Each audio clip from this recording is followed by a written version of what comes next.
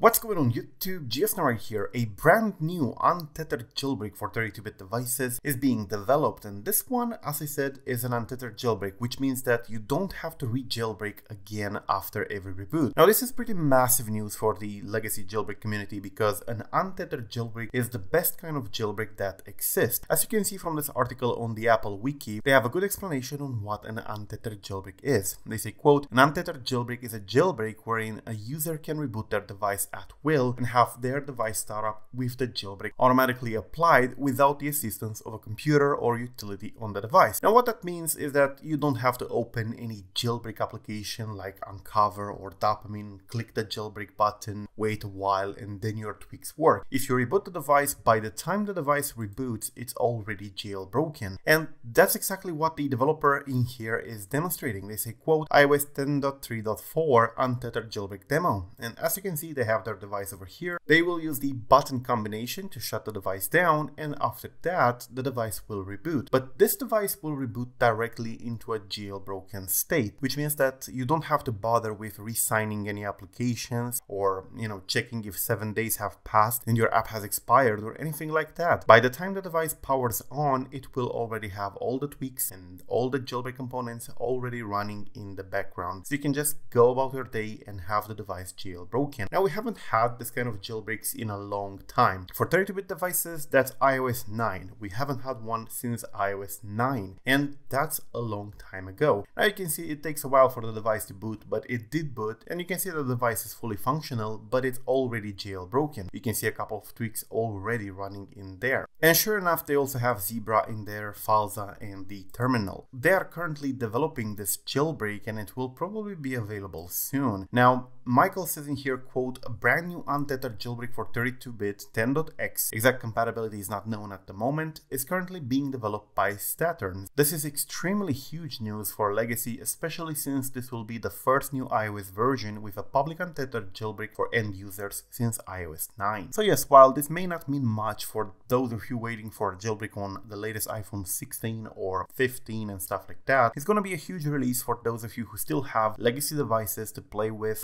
experiment with, and this will allow you to not worry about re-signing jailbreak stuff anymore. Those are, as I said, the best kind of jailbreak, and we did have a couple of them, like Spirit and Jailbreak Me 2.0, and evasi0n, Pangu, TaiG. There were a couple of them actually, but these are the most desirable jailbreaks, and people always want them. Well, it looks like the 32-bit devices will get a gift at this point. That's basically it. If you are, however, on a newer device and you're using Dopamine or Unc0ver or Taurine, there is a solution for you too. You can use FlekStore and they have pre-signed jailbreaks like Dopamine, Unc0ver, Electra, Odyssey, and so on, including tools like Plankfiles and Misaka without a computer, so you don't have to worry about resigning with a computer. Definitely check it out below. So yeah, pretty good news for those of you on 32-bit devices. Thank you for watching, I am GeoSn0w. Till the next time, peace out.